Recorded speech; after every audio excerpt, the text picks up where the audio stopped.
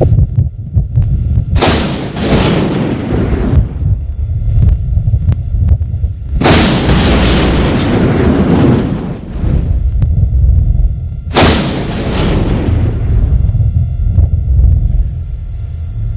senhores da lei, senhores juízes, senhores promotores, senhores da lei.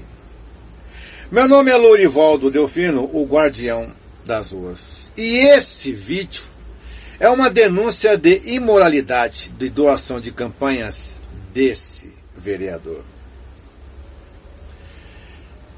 Fato, retrato, registro.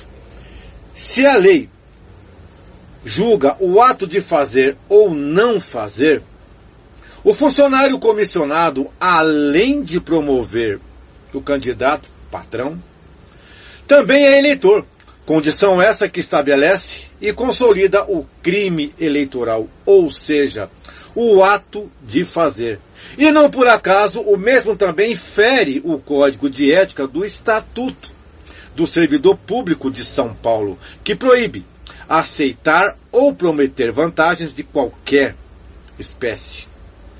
Em suma, está consolidado o uso ilegal e imoral da máquina administrativa, visto que se trata de vários casos evidenciados pelo TSE e confirmados pelo portal Transparência da Câmara de Vereadores.